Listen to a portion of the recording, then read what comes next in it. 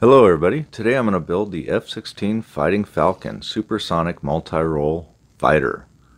This is a Brickmania kit that is licensed by Lockheed Martin and it was designed by Cody Ocel. The kit is a skill level 4 out of 5.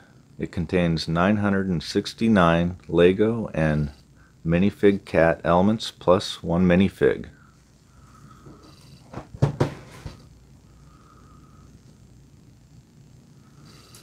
Here's the artwork on the back of the box. Pretty cool. Pause it and read the uh, statement in the bottom right corner if you'd like.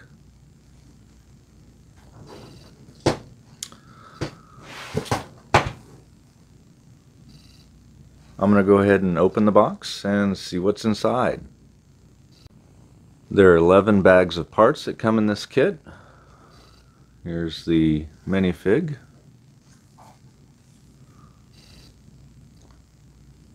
Here's a sticker sheet that comes with this kit. Pretty cool graphics on there.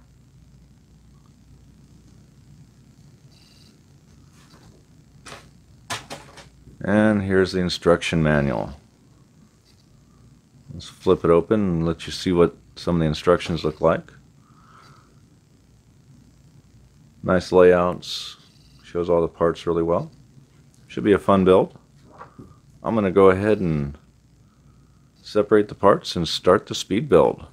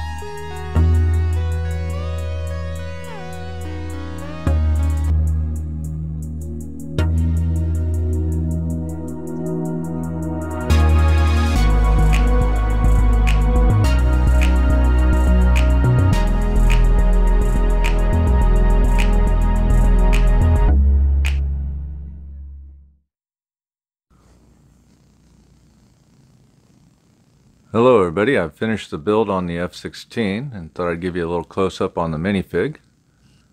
Really cool design. Lando did a really good job on him.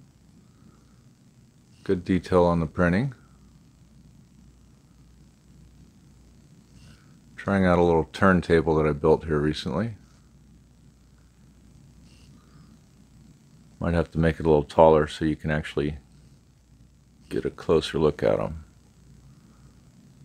But it's doing all right. Let's go ahead and take a look at the F-16 now. So here's the F-16 fully built. It was a very fun build. I had some trouble. I built the whole uh, assembly that the front wheels on are in. One brick too far back, but once I realized it, everything went smoothly after that. A lot of tiles and slopes in there couple of uh, printed parts. You can see the rescue on the uh, side there by the cockpit, and I'm assuming that's a gun port or something there by the cockpit also.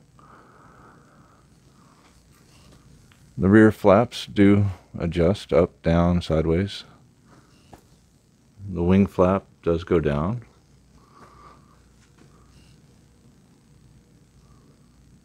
This is the I guess, second iteration of this. It is the licensed version. It comes with the full loadout, unlike the version before it where you had to buy all the rockets on the side.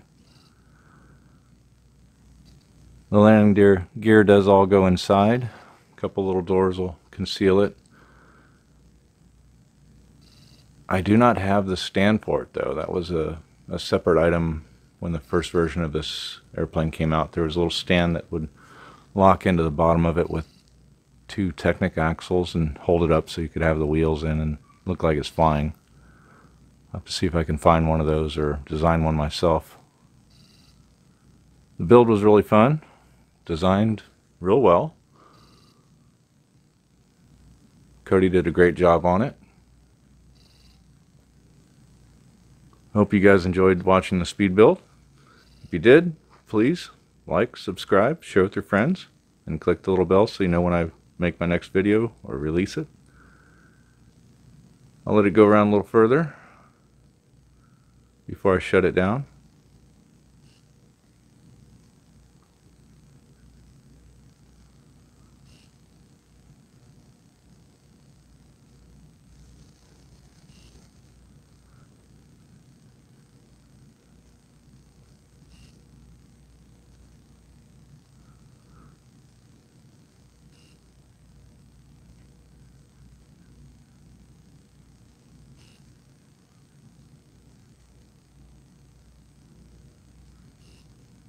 Anyway, I hope all of you guys have a wonderful day or weekend.